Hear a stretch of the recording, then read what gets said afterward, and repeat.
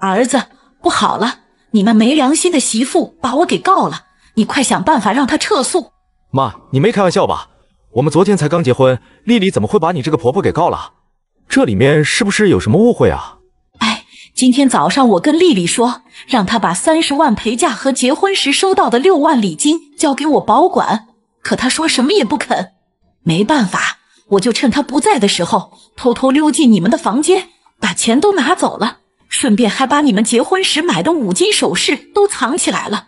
结果他发现东西都不见了，非要告我。儿子，你赶紧想办法让他撤诉啊！不然你老妈我就要在里边待一阵子了。妈这把老骨头可经不起这么折腾了。妈，你这不是胡闹吗？丽丽不肯给就算了，你干嘛还要去偷啊？她都已经嫁给我了，那三十万陪嫁和六万礼金还不都是咱们家的吗？你这不是没事找事啊？你懂个屁！你们年轻人花钱大手大脚的，钱放在他那里肯定不保险，我替他保管起来有什么错吗？妈。就算这样，可你也不该结婚第一天就去要啊！换做谁都不会乐意啊！行了，先别说这个，你还是赶快回去让他撤诉吧。我现在一想要进去，我就老难受了。妈，你再忍忍，我马上去找丽丽，让她赶紧撤诉。大川说完就赶紧回家，找到了丽丽老婆。我说你怎么回事？你干嘛要告我妈呢？咱们这才结婚，第二天你刚进我家的门就把自己的婆婆给告了，你还能不能靠谱点？说出去也不怕被人笑话。大川，我刚想打电话给你，咱们也没什么好说的了，你赶紧回家一趟，带上结婚证、身份证，一会咱们就去民政局把这婚离了。你发的什么疯？我不过是出去一会的功夫，你又是告我妈，又是要跟我离婚的，你脑子没事吧？我好像也没去惹你吧？你就说清楚今天到底是怎么一回事？你为什么要这么做？既然你想知道，那我就跟你说清楚。你也知道。我不是一个特别看重家庭条件的女人，我看重的是你这个人，为人踏实能干。要不然，以我们家的条件，我父母也不会同意让我嫁给你。这些我当然知道，你父母是个通情达理的长辈，我也很感激他们，不嫌弃我这个穷小子，同意你嫁给我。可是这些跟这件事又有什么关系呢？你听我把话说完，咱们是同一个地方的，你也知道咱们这边的习俗，彩礼至少也是十八万八起步的吧？虽然你跟我是相亲认识的。不过咱们也相处了半年，我父母主要是看人品，只要能对我好就行了。所以之前谈彩礼的时候，我父母让你们给八万八，意思一下就行了，而且还提前跟你们沟通过，这八万八就是走个过场，结婚的时候会让我带回来的。岳父岳母确实是个实在人，我也知道他们老两口用心，所以心里一直都很感激他们。我也暗暗发誓，一定会对你好，也会把他们当自己的亲生父母对待。嘴上一套，背后一套，又有什么用呢？咱们做人的诚信起码要有吧？之前说好的八万八彩礼，可结果呢？昨天接亲的时候，你们家只拿了一万八的彩礼过来，我父母的脸色当时就绿了。我也不知道你爸妈是怎么想的，当着那么多亲朋好友的面，故意给我们难堪吗？我们也不想这样的。为了办婚礼，我爸妈把家里所有的钱都花了，确实没办法凑齐八万八了。不过你放心，剩下的那些我以后会补给你们的。你真的让我长见识了，原来彩礼还可以赊账呢。你们是不是觉得在大庭广众之下，我们不敢拿你们怎样才敢如此嚣张的吧？你们这样硬生生的打我家的脸，对你们有什么好处？昨天我父母要不是为了我，早就让你们下不来台了。你真以为我们家缺你那点钱吗？我承认这件事确实是我家做的不对，不过我保证以后一定会弥补你们的。你别打岔，我还没说完呢。后来到你家举办婚礼的时候，到了敬你父母要改口费的环节，又一次刷新了我的三观。不是吧？这也有问题吗？我好像记得那时候我爸妈给你红包了，没有问题的话我也懒得说了。你知道那时候你爸妈给我包了多少红包吗？我也不知道，我妈没跟我说。不过我看到红包的分量还挺足的，应该也不少了吧？分量确实挺足的，我也觉得应该不少。可是等我打开一看，差点惊掉我的下巴，里面竟然只有八块八，其他的都是一堆废纸。你们没钱就别给啊，谁稀罕你的八块八？要是当时知道里面只有八块八，我就直接甩你父母脸上了。不得不说，说你爸妈也是个人才，为了不露出破绽，还故意在里面塞了一堆废纸。那绝对不可能，我父母怎么可能做出这种事来？这其中肯定有什么误会。要是没有一堆废纸在里面，我还有可能相信是个误会，不小心拿错红包之类的。你们家要是看不上我，就别娶我进门啊，何必整这些猫腻呢？再来说说你们接亲的车队，那是什么玩意？一辆不旧不新的婚车，还有一辆面包车，最后一辆拉架状的大货车，装的倒是满满当当的。接亲的人连你加起来一共才六个人，更别说敲锣打鼓了。当时我家的亲戚朋友看到这一幕，差点惊掉了下巴。这些也就算了，你们居然连送亲的车队都没有安排，还是他们开自己的车过去喝喜酒。那一排排摩托车看起来非常惹眼，不知道的人还以为在集体跑路呢。你们就不觉得丢人吗？你没看到那么多人都在捂着嘴偷笑吗？不知道你们家是特意来拉嫁妆的，还是来接亲的？搞得我父母连头都抬不起来。我是有多嫁不出去啊？非要送这么多嫁妆才有人肯娶？这都是我爸妈安排的，我也是第一次结婚。很多事情我也不清楚啊，有可能是他们确实没钱了，办不起太大的场面，你就别生气了。这话你自己信吗？那天给你父母敬茶的时候，我看你妈金戒指、金耳环、金镯子一个都不少。有可能那些都是我妈跟别人借的，也不一定啊。你没必要为了这点小事就要跟我离婚吧？这些事说不定我还能忍一下。更气人的是，今天早上你妈竟然趁我不在的时候，偷偷溜进我的房间。把我妈陪嫁给我的三十万嫁妆和收的六万礼金全都拿走了，连我结婚的金银首饰也不放过。我气不过找她理论，她竟然说我带着这些金银首饰会影响我干家务，还说以后家里的钱都要交给她保管。她算个什么东西，竟然敢这样对我！丽丽，你怎么说话的？再怎么说她也是你婆婆。刚才我妈说了，这些钱她只是想替你保管一下而已，她担心放在你那里已没多久就会被你花完了。再说了，谁没事天天带着金银首饰？这些东西让她替你保管着也没啥毛病吧？就算是方法不对，可出发点是好的，你干嘛要去告她呢？你还能要点脸吗？你母亲在结婚第二天就偷走儿媳妇的三十万陪嫁和六万礼金，还有我所有的金银首饰，这样你都觉得没什么吗？她这是偷窃行为，是违法的。你也是接受过高等教育的人，这些你难道也不懂吗？这些我当然懂了，问题是你都已经嫁给我了，以后咱们就是一家人。你的钱也就是我的钱，放在哪里不都是一样的吗？我妈只是帮咱们保管起来，这也很正常啊。你的脸可真大呀！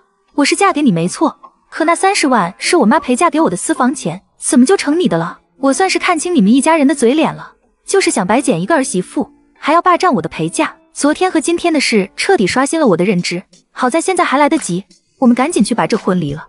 你家是有钱没错，可也别把别人想的那么龌龊。我家可是老实本分的人，做事踏踏实实，问心无愧。你少在这里污蔑人，赶紧跟我去把我妈接出来。她年纪也不小了，可经不起这么折腾。行，我也不想跟你废话，咱们现在就去离婚，然后让你妈把我的三十万陪嫁和六万礼金，包括那些金银首饰都还给我，我就马上去撤诉，否则免谈。那些东西我会叫我妈还给你的，不过我是不会去离婚的。这才结婚第二天就要离婚，我可丢不起那个人。你也知道丢人了吗？和你们做的那些事比起来。这又算得了什么？咱们的三观和理念都不同，就算勉强在一起，也不会幸福的。好聚好散，这样对谁都好，不是吗？你说离婚有那么简单吗？为了这次结婚，我家可是花了不少钱，酒席不要钱了吗？还有各种开销，这些损失谁来承担？反正你说什么我也不会离的，对我一点好处的都没有，还会白白损失那么多钱，我可没那么傻。那可由不得你，这婚肯定是要离的。你家办了酒席，我家也办酒席了。这些损失我也不会不给你的。你要是不离婚，我就去起诉你妈偷走我的陪嫁钱。我有充分的理由。要是真到那个时候，你们是讨不到任何便宜的。你也太过分了！看来你是早就策划好了这一切。是的，所以你说再多也没用。乖乖跟我去趟民政局吧。朋友们，这件事你怎么看呢？你会支持丽丽的做法吗？婆婆和我同时怀孕了，但是家里只能负担起一个宝宝，于是她推我一下，导致我流产。话接上集，兄弟，要是敢报警，别怪我不客气。我有几个兄弟还不满四四，你爸敢搞大肚子，我剁了他的第三条腿不过分吧？过几天我还会再来的。看完这出好戏，我也去了医院。抢救过程并不顺利，没多久医生就出来了。现在患者心肺功能出现问题，呼吸困难，低氧血症明显，必须上 ECMO，否则大人随时有生命危险。不过 ECMO 的费用是比较高的，估计要花费二十几万。用不用你们家属尽快给我答复？而且小孩是早产，必须放在医院的保温箱里，所以保守估计你们要先准备三十万的费用。大川顿时傻眼了，可是医生还在等待我们的回复。我忙回答：用，我们用 ECMO。现在我们就去筹钱。医生听到回复后，急匆匆进了手术室。大川痛哭：丽丽，我们哪有三十万啊？就算把亲戚全借遍，也没有那么多钱啊。老公，我们把房子卖了吧。房子可以再买，但是妈只有一个呀。这套房子是大川的婚前财产，在我的道德绑架下，公公和大川一致同意卖掉房子。为了尽快脱手，原本将近一百万的房子只卖了九十万，扣掉未结清的五十万贷款，到手只有四十万。大川拿出三十万救活了婆婆，只是婆婆期待的小棉袄没有来，生下的还是儿子。婆婆出院的第一天，王芳一群人又来了，大川直接拿出了全家人的无房证明，王芳这才相信自己阴沟里翻船了。这怎么可能呢？丽丽都说了，你爸有五套房啊！大川愣住了，王芳儿子也退了一步。就算没有房子，你们也要给我二十万的营养费。你不是在渔船小学教书吗？你要是不给我，就去你们学校了。晚上我回家，大川只是呆呆的双目无神，婆婆则狠狠的瞪着我。丽丽，你为什么骗王芳说家里五套房？现在王芳怀孕了，问你爸要二十万才肯罢休，你这个丧门星！这二十万我不管你借也好，卖也罢，必须你来出。大川悠悠的开口：“丽丽，这都是你算计的吧？”婆婆恍然大悟：“你这个毒妇，你为什么这样做？”我疯狂的喊出来：“为什么？当然是为了我那未出世的孩子，他都没能看一眼这个世界，就被你亲手送走了。谁叫你那么不争气，被我轻轻一推，孩子就没了。你就是命贱，活该你保不住。”终于说出来了，不过这个作为证据还是不够。不过没关系，他们都是我的猎物。大川直直盯着我。你知道办假证是犯法的吗？如果你不想去坐牢，这二十万你自己想办法吧。这都是你惹出来的祸。可以，但我有一个条件，这笔钱给你之后，我们马上离婚。大川毫不犹豫的答应了。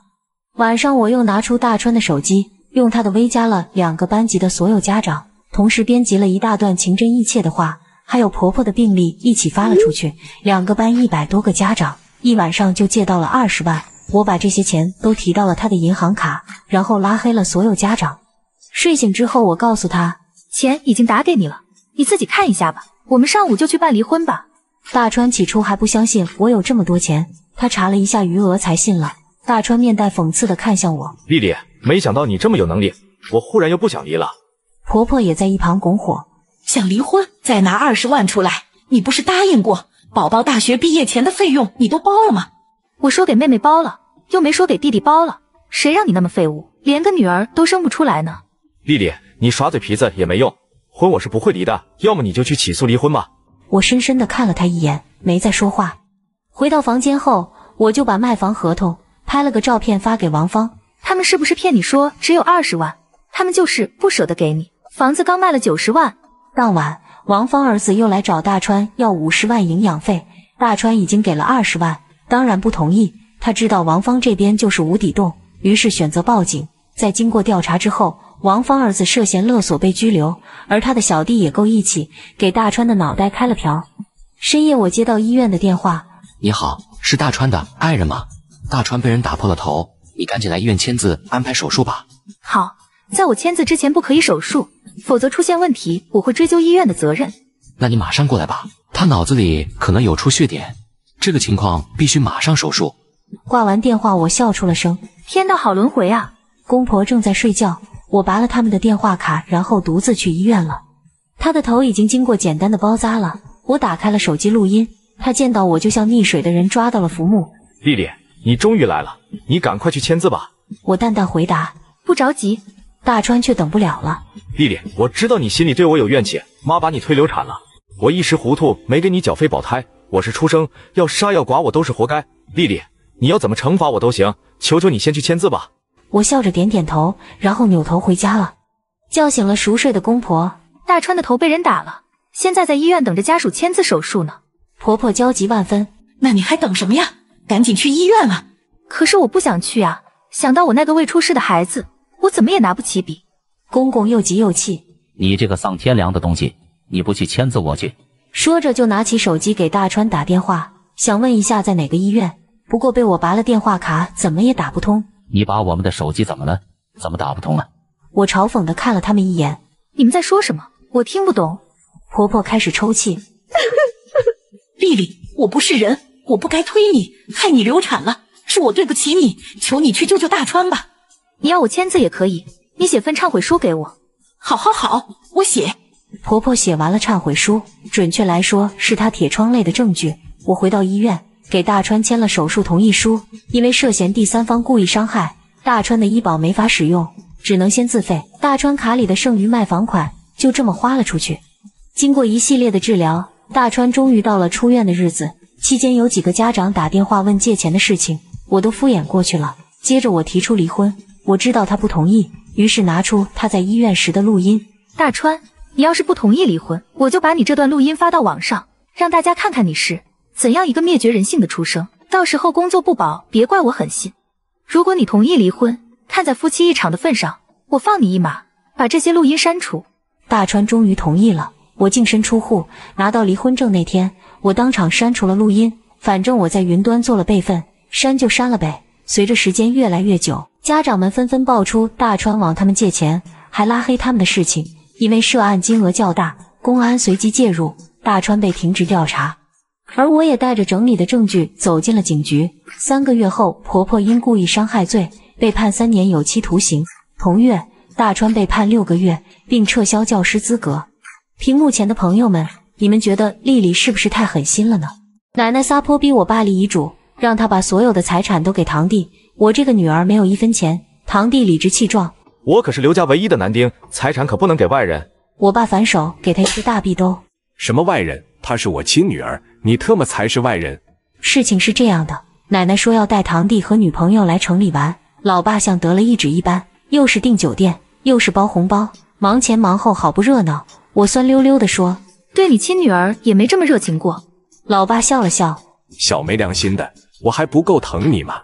我撇撇嘴，认同了他的话。老爸是个凤凰男，但一点也不重男轻女，反而是个老婆奴、女儿奴。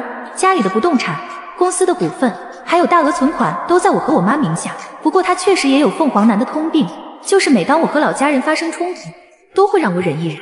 老爸再三叮嘱：“他们大老远的来一趟不容易。”好好招待是应该的。等奶奶来了，你嘴甜一点，好好孝顺她，知道吗？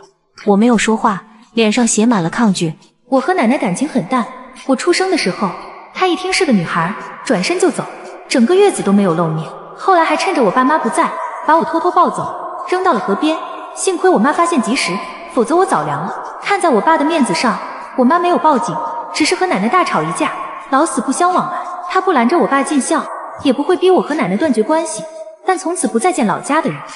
我和奶奶见面次数本来就少，后来叔叔生了堂弟，他看我就更加不顺眼。看你给我花钱，简直要了他的命，每天挖空心思从咱们家拿钱补贴他的小儿子、大孙子。这次带堂弟和女朋友来，还特地提醒你包红包，摆明了就是来薅羊毛的。老爸叹了口气，奶奶年纪大了，老观念改不了了，就算说话不中听，你就当耳旁风就行了。他偶尔来这么一次，又不是天天来，忍一忍就过去了。他毕竟是你奶奶啊。他看着十分落寞。他不是没试过改善我们的关系，可既改变不了顽固的老娘，又舍不得太委屈我，夹在当中不知受了多少气。我不想看老爸为难，只能答应下来。好吧，没办法，看在老爹的面子上，就忍一忍吧。到了火车站，远远就看见一个流里流气的小青年，搂着一个浓妆艳抹的女人。他们身边是一个提着行李的老太太，眼里闪着精明的光，那自然是奶奶和堂弟刘伟他们了。大伯，这是我女朋友罗春芳。老爸笑呵呵的迎了上去。小伟真是出息了，找了一个这么漂亮的女朋友。罗春芳没有和我爸打招呼，反而直勾勾的盯着我家车标。这就是你说的有钱的大伯吗？老爸的笑容淡了几分。做点小生意而已，谈不上有钱。他轻蔑地看着我们，从鼻子里哼出一声：“还以为多有钱呢，不就开个破奔驰吗？”我血压蹭一下就上来了。两百多万的奔驰，怎么就成破车了？看他穿着一身粗制滥造的假名牌，明显不像有钱的样子。不知道哪里来的这么大优越感。我直接对道：“对不起啊，委屈大小姐了。不过您怎么没让您家司机开着豪车送您过来呢？是想体验平民生活吗？”罗春芳瞬间哑火，无言以对。见罗春芳吃瘪。奶奶狠狠地瞪了我一眼，死丫头，一开口就呛人，懂不懂礼貌？老大，你可得好好教训她，快给春芳道歉。老爸淡淡一笑，我女儿被我宠坏了，说话有点直。小罗，你多担待一下。罗春芳有些不甘心，但老爸有意无意地扫了她一眼，她也只能乖乖闭嘴。奶奶却不肯善罢甘休，既然这车不值钱，就不用过户给小伟了，你改天带他买辆好的。堂弟欢呼雀跃，大伯。我要玛莎拉蒂，敞篷的那种，也就二百多万。我暗中翻了个白眼，两万都拿不出来的人，好意思说也就二百多万？老爸哈哈大笑，大伯可买不起那种车，只能等将来小伟赚了钱，买一辆孝敬大伯了。一听要他出钱，堂弟立马闭嘴。姜还是老的辣，买车这件事就被轻轻接过了。老爸存心给堂弟撑面子，带他们去了当地最好的酒店，什么贵点什么，帝王蟹、马粪海胆、澳洲青龙、雪花和牛。堂弟和罗春芳眼睛都看直了，时不时的在朋友圈和微信群发酒店的图片，就是把奶奶累坏了，全程只盯着我，都没好好吃饭。我去夹龙虾。他赶忙转桌，把龙虾对到他大孙子面前。我去夹和牛，他直接连盘端走，平分给堂弟和罗春芳。就连老爸也没捞到半块。我好不容易夹到一块鲍鱼，也被他一筷子打掉，把肉抢到堂弟碗里。女孩子家这么嘴馋干什么？哪来的脸和弟弟抢东西吃？你就缩缩壳吧，别浪费了。我气笑了，这顿饭还是老爹请客呢，我就只配吃个壳吗？这老太太忙得上蹿下跳，如跳梁小丑一般。生怕我多吃一口就把她大孙子饿死。老爸看着奶奶，眉头微蹙，显然也觉得他吃相太难看了些。堂弟和罗春芳碗里堆的冒尖的海鲜和肉，和我碗里孤零零的鲍鱼壳形成鲜明对比。他俩一脸理所应当的样子，也没觉得自己的行为有什么不对。这些食材我平时也不少吃，犯不着和他们抢。可我实在咽不下这口气。谢谢奶奶，不过这么好的东西还是给弟弟吧。您光顾着给我们晚辈夹菜了。自己都没好好吃饭，青菜您多吃一些，别老是大鱼大肉的，好像我小叔苛待你了，平时没吃过一样。你也多吃点青菜，这么多菜呢，别客气。奶奶瞪大了眼睛，破口大骂：“死丫头，放着那么一桌子鱼和肉，让我吃一根菜叶子，你是存心想饿死我吗？”我一脸无辜：“奶奶，对不起，我不是认为你只配吃青菜的，本来想给你海鲜还有肉，可每次都被你夹给弟弟他们了，我一直抢不过您。”只能说给您吃点青菜了。搞小动作被当众揭发，奶奶的脸色一下子和青菜一样绿了。老爸也趁机教训堂弟：“小伟，你看你奶奶光顾着你自己都没吃，这么大的人了还不懂孝敬老人吗？”堂弟这才不情愿地说：“奶奶，你看你想吃什么，我夹给你。”奶奶不吃，你吃，看我大孙子吃，比我自己吃还高兴，让老人开心，这就是孝顺。反而某些人就只会做表面功夫。他狠狠地剜了我一眼，大声道：“没看见我没茶水了吗？还不快给我倒茶！还研究生呢，一点规矩都不懂，只顾着自己吃，太自私了，一点都不如小伟懂事。”我还真不稀罕他嘴里的懂事。我招手喊服务员：“服务员，给我们添点茶水。”不用叫服务员，就你来，我还不信，我就支持不动你。我心里堵着一口气。老爸拼命给我使眼色，我忍，乖乖起身给他倒水。可他一会要添水，一会要倒垃圾，要不让我揉肩，存心不让我坐下来好好吃饭。更过分的是，罗春芳也有样学样，开始支持起我来了。你给我把虾包了，还真把自己当盘菜了。我站在原地没动。罗春芳火了，我叫你给我包虾，没听见吗？以后我和小伟结了婚，这个家就是我做主，劝你识相点，否则将来你被婆家赶出去，我可不会收留你。老虎不发威，真把我当病猫了。我直接拿起那盘虾扣在他身上，给你脸了是吧？罗春芳看起来狼狈又可笑，你欺负人！他哇的一下哭了出来，我乐了。刚刚那么嚣张，还以为多硬气呢，结果却是只只老虎。奶奶回过神来，破口大骂：“死丫头，想造反是不是？”她刚想打我，就被老爸制止：“妈，您冷静点，别气坏了身子。”奶奶气得哇哇大叫：“好啊！”你竟然护着这个死丫头，想和老娘动手吗？不等奶奶再骂，我抢先一步开了口：“奶奶别生气，我这么做可全是为了小伟，这还没结婚呢，就这么嚣张，今天不给他一个教训，以后不得骑到小伟头上去。”奶奶立马闭嘴。如我所料，老家是重男轻女的重灾区，适婚年龄的女孩非常少，一家有女百家求，堂弟吊儿郎当的，二十多岁也没有正经工作，高富帅哪样都不沾边。自然在婚恋市场上没什么话语权。为了传宗接代的大业，奶奶不得不放下三从四德的老观念，竭力讨好罗春芳。可是本性压抑久了，一旦有机会，绝对会加倍讨回来。这就叫用魔法打败魔法。奶奶撒泼逼我爸立遗嘱，让他把所有的财产都给堂弟。我这个女儿没有一分钱，否则就不认他这个儿子。话接上集，我冷冷地扫了一眼罗春芳：“你算什么东西，也敢做我们老刘家的主？到底有没有把长辈放在眼里？”我劝你摆正自己的位置，好好孝顺长辈，照顾小伟，否则就凭我弟这条件，我就不信他找不到更好的。不能对奶奶，我还不能对你吗？罗春芳哑口无言，下意识地看向奶奶，向她求助。可奶奶根本不管她，看她吃瘪，反而眼中闪过一丝痛快。见没有人为她出头，罗春芳委屈极了。你们一家人合伙欺负我，分手！罗春芳起身，扭扭捏捏，假装要走。堂弟玩着手机，漫不经心地说：“你今天是沾了我的光，才能来这么高档的酒店吃饭的。错过这个村，可没这个店了。”罗春芳又气又急，可环顾四周，显然没有人帮他说话，最后也只能讪讪地坐了回去。一顿饭都安静如鸡，再也没闹什么幺蛾子。本以为他们能消停一阵子，可短短半个月后，老爸又跟我说：“你奶奶带着叔叔一家又回来了，而且这次明确要求要来我们家看看。”但是你母亲早就下了死命令，家里不欢迎任何老家的人，所以只能先把他们一家四口先接到了你名下的大平层。一到家，他们直接大摇大摆的往屋里走，里里外外看了个遍，甚至连鞋都没来得及换，在雪白的地毯上留下一串乌黑的鞋印。我赶忙拦住冲在最前面的奶奶，递给她一双拖鞋。奶奶，我给你们准备了拖鞋，先换了鞋再进屋吧。奶奶斜了我一眼，没好气的说。换什么鞋？哪那么多穷讲究？叔叔也在一旁帮腔，都是一家人，就别客气了。他清了清嗓子，一口浓痰直接吐在了木地板上。他抬起脚，随意的蹭了蹭地面。我当场石化，言语无法形容我现在的心情。大概是我的表情实在难看，堂弟看不下去了。不就是块破毯子吗？摆什么脸色呢？看不惯就给我滚出去！我搞不懂了，这是我的房子，谁给你的勇气让我滚出去？婶婶笑眯眯的出来打圆场，小伟，算了，犯不着为这点小事和他计较。丽丽啊，你看你弟弟马上就要结婚了，你准备什么时候搬走？搬走？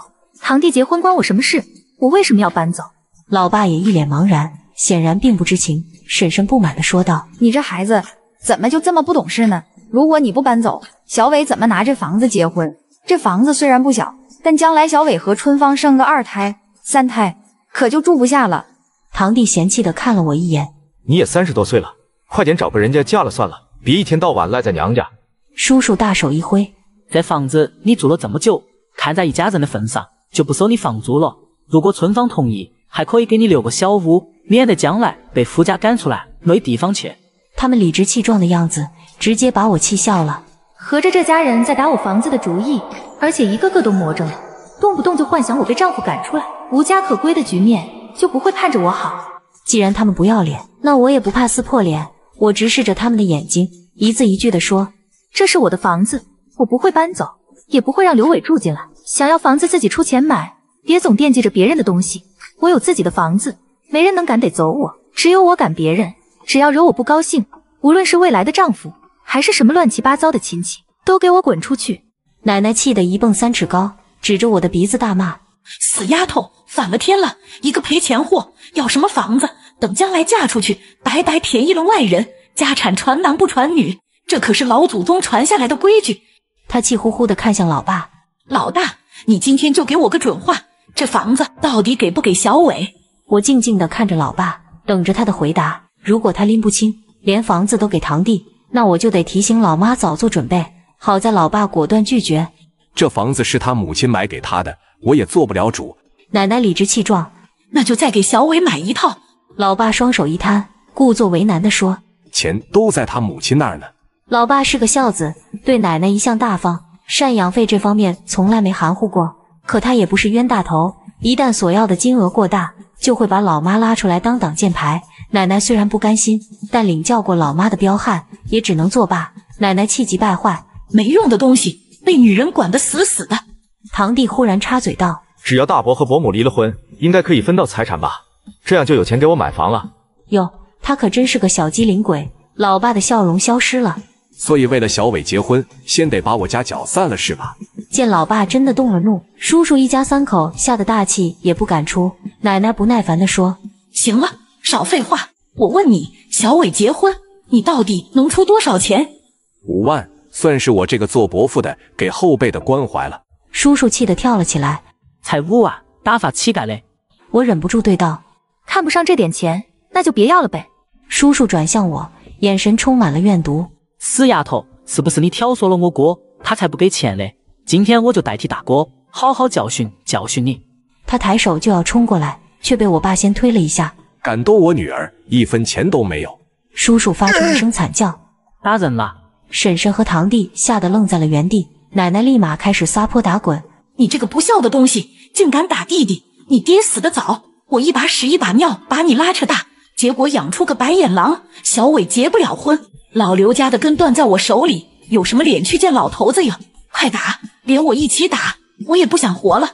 老爹叹了口气，眼底是说不出的疲惫。爷爷去得早，是奶奶含辛茹苦把他们兄弟俩拉扯大的，所以每次奶奶一闹，他总会妥协。奶奶也吃准了他这一点，可这次的事关系到我，已经触到了他的底线。老爸冷冷地看着他们，十万不能再多了。奶奶还想说什么，却被老爸打断。妈，我知道打给你的钱都给老两家了，老二家建房子、开店，小伟念书、工作，能帮的我都帮了。这些年给你的钱不下百万，早就够在县城全款买房子了。我的钱也是辛辛苦苦赚来的，不是大风刮来的啊。老爸的身家是他和老妈一手打拼出来的，期间吃了不少苦，甚至落下了胃病。可奶奶从来不关心他的身体，只知道要钱。他满心满眼只有叔叔一家。果然，奶奶并不满足，十万也太少了，彩礼钱都不够。老爸看着奶奶，轻轻地说：“当初我结婚的时候，你借口说穷，愣是一分钱都没掏，婚房和婚礼全靠我和我老婆，还有他们家里资助。可半年后轮到弟弟结婚，你又是建新房，又是办婚礼，还给了弟妹不少的彩礼。我虽然没有和你计较，但这件事一直是我心里的一根刺。可你一点都不觉得愧疚。”反而继续胡搅蛮缠。当时是当时，现在是现在，能一样吗？十万够干什么的？至少要一百万。你是他亲大伯，总不能眼睁睁看着小伟结不了婚吧？老爸叹了口气，眼里满是失望。没钱，那就等有了钱再结婚。奶奶故技重施，我怎么生了你这么个不孝的东西呀？老刘家绝后了。可这次爸爸只是冷冷的看着他，再闹，这十万我就不给了。奶奶还想说什么？可爸爸抢先一步打断了他。您再这样闹，以后赡养费就按法律规定的最低标准来，多的一分钱都没有。眼看榨不出更多的钱，奶奶勉为其难的收下了那十万，气哼哼的走了。两个月后，老爸收到了堂弟婚礼的请柬，因为上次不欢而散，他本来不想去，可叔叔再三赔礼道歉，态度诚恳，说想趁这个机会给我们好好赔罪。老爸心软，答应了。毕竟是一家人，也别闹得太僵了。对他们的赔罪，我抱着怀疑态度，可老爸的面子也要给，于是只能请假和他一起回去。婚礼当天，老爸被安排和堂弟一起去接亲，我则和婶婶两个人一起布置新房。我正贴着彩带，婶婶忽然带回来一个老年男人，秃顶、啤酒肚，一双绿豆小眼，不怀好意的打量着我。婶婶看着我，满脸堆笑。尤主任，这就是我给你说的那个侄女刘丽丽。尤主任咧嘴一笑，漂亮。身材不错，很好，我同意了。他上前一步，就要来搂我的腰，